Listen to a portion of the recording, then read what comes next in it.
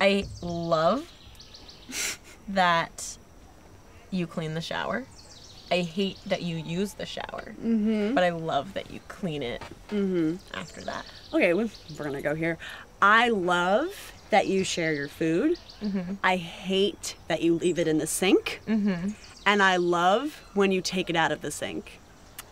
Okay. Um. yeah. I'm, I'm good at the game, right? Okay. Okay. It's like a three to one Yeah. ratio. I love two to one. that you don't mind when I use your bed as a toilet. Mm-hmm. I hate that you don't clean it up for me. Mm-hmm. But I love that you haven't noticed that I do that.